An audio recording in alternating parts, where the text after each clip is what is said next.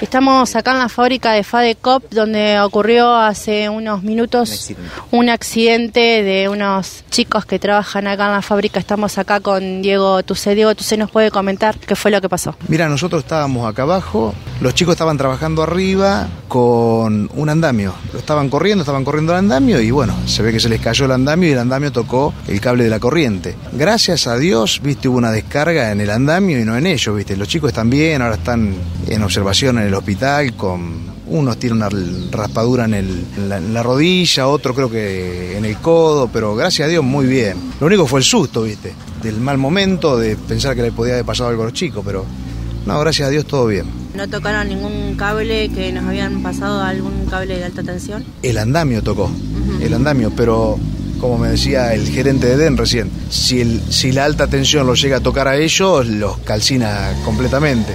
Ellos cuando se les cae el andamio, ellos se caen al costado y el andamio quedó tocando el cable de, la corriente. O sea que a ellos le, alcanzó entonces a agarrar algo de corriente. La verdad que no sabría decirte, supuestamente no, porque ellos cayeron al, piso, ¿viste? Yo no estaba allá arriba, yo fui después del accidente. Pero todo bien, bien los chicos, eso es lo que más me importa, ¿viste? ¿Cómo fue que te avisaron? Salta el transformador acá afuera y uno de los que estaba al costado me vino y me avisó. Entonces cuando escucho el transformador y el muchacho que me viene a avisar, yo me fui enseguida para arriba al techo. O sea que estabas acá, en el lugar. Sí, sí, sí yo estaba acá, estoy desde la madrugada hoy.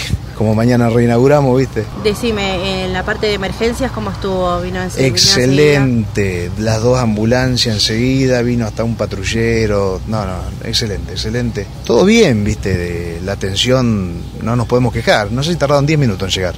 Bueno, hoy lo que ahora lo que más me importa es que los chicos están bien y que, bueno, queden en observación y se recuperen y salgan adelante. ¿Te dijeron algo más desde parte del hospital, que sabemos que están hospitalizados? Sí, eh, no es que me lo haya dicho el médico a mí, el médico se lo dijo a Patricia, que estaba con ellos. Le dijo el médico que estaban bien, que estaban bien, que no tenían nada, pero que tenían que quedarse en observación por cualquier cosa, ¿no es cierto? Más que nada eso. Pregunto, eh, ¿ellos conocían las instalaciones? Usted, porque digamos, ustedes hace muy poco tiempo que están trabajando acá. ¿Conocían, eh, digamos, que había un tendido eléctrico en ese lugar? ¿Tenían ustedes información de que eso estaba en funcionamiento? Nosotros eh, fuimos a poner una chapa allá arriba. Nosotros, bueno, los chicos fueron a poner una chapa que se había salido. Este, y la verdad que no estábamos bien en pleno conocimiento de, de que había un cable con corriente. No, no, no lo sabíamos bien. Se ve, si vos te pones a observar ahora, se ve pero el que no conoce te puede pasar como algo más de la vista o el paisaje, ¿viste? Bueno, me imagino que ahora con esto habrá que tomar otras medidas acá en el interior, ¿no? 100%, 100%. Hay que trabajar mucho sobre las medidas de seguridad acá, ¿viste? Pero mucho, mucho, mucho. Y pues estamos en ese camino, estamos en eso. Bueno, mañana reinauguramos con muchas medidas que hemos tomado desde el mes pasado que empezamos hasta hoy, pero estamos a distancia, estamos todavía un poco eh, lejos de lograr lo que uno quisiera pero bueno, las medidas mínimas primarias que se necesitan están todas, eso es lo más importante, ¿viste? Después uno quiere ir eh, optimizando todo, pero bueno, no es una gran industria por ahora, así que de a un paso vamos a ir optimizando todo lo que más se pueda. Y esto, lo del cable arriba del techo, la verdad que...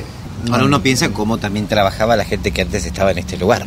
Sí, sí, sí, faltaban muchas precauciones tomarse en toda índole y bueno, por ahí uno no quiere ponerse a hablar del pasado, pero pienso mucho en el futuro y, esta es una de las cosas que más me importa de que la gente tenga buena seguridad.